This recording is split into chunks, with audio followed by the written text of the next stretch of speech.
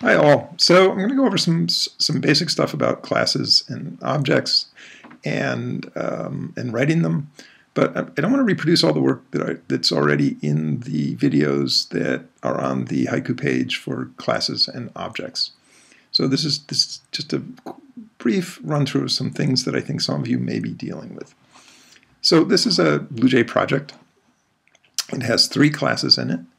Um, we'll get to more about multiple types of classes and how they interact and what things like the studded line are in the future. But right now I just want to show you a class that was written by one of your classmates.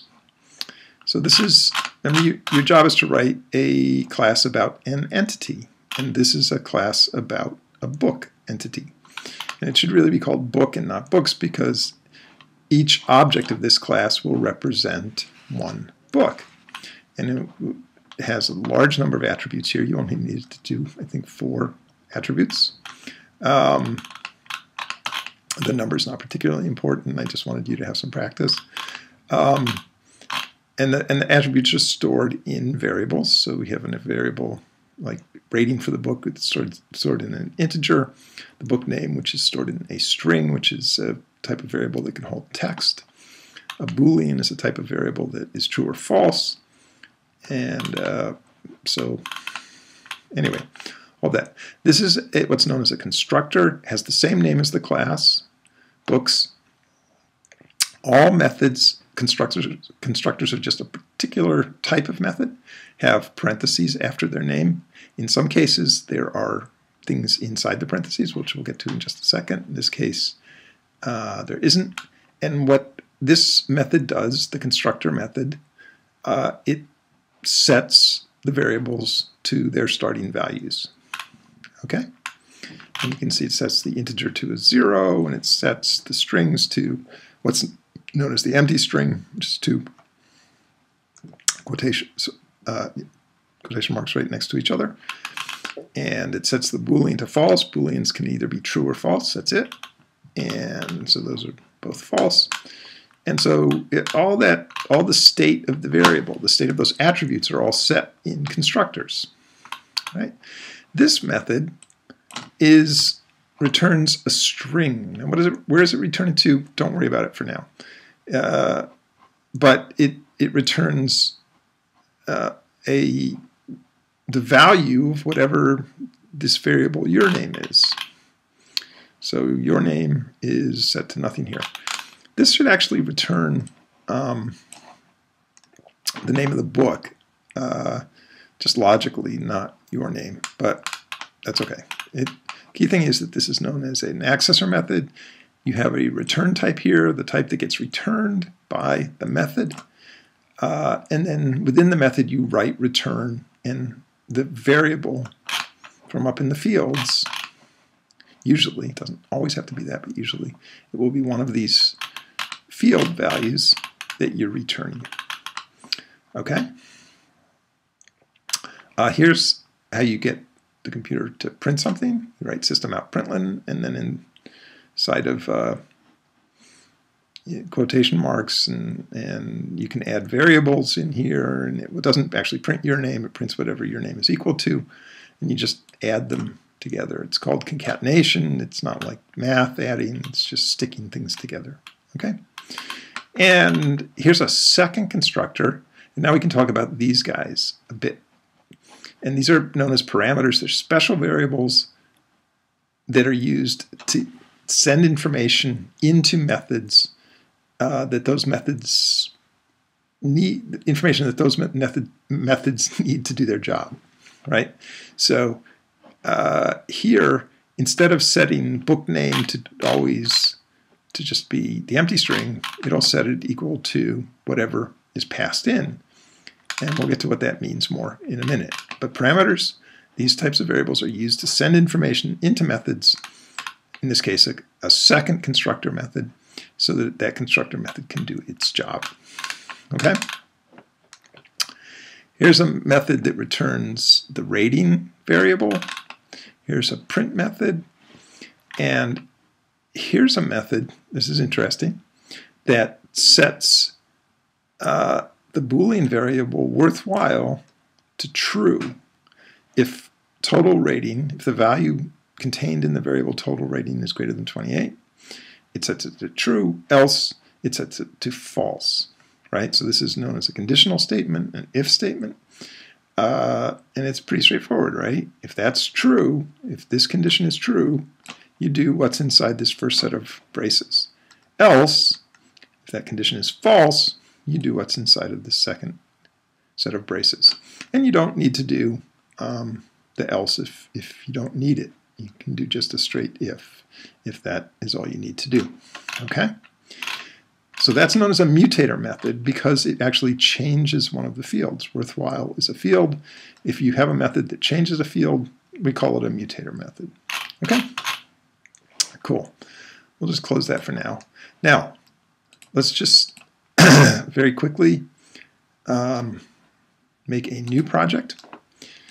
Now, what you should do is create on your computer a folder called something like My Java Projects, right? And keep all of your work there so that you know where it is and it's well organized.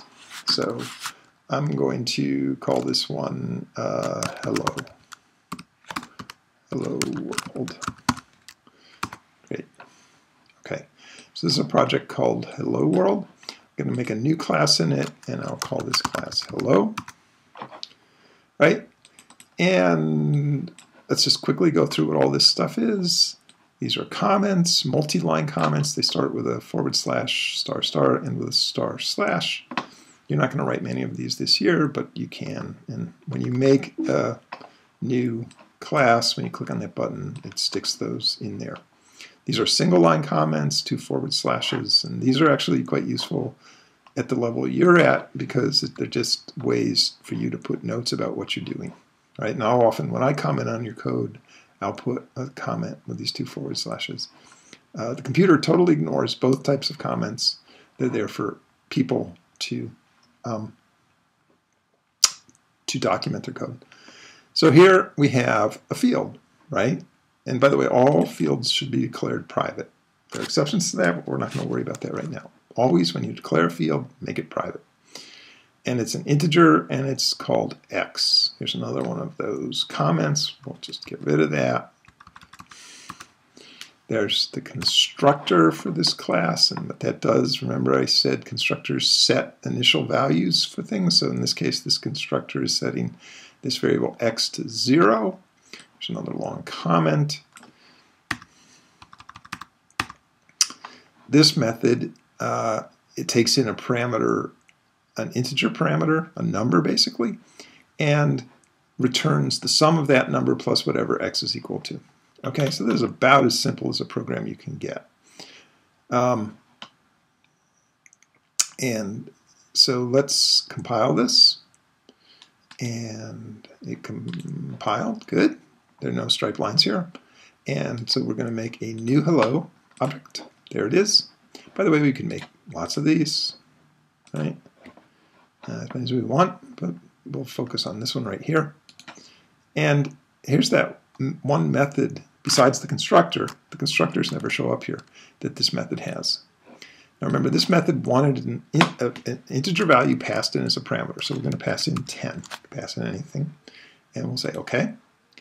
And remember, this method returned the sum of whatever x was, which is 0 plus 10. So it returns 10. Okay? 0 plus 10.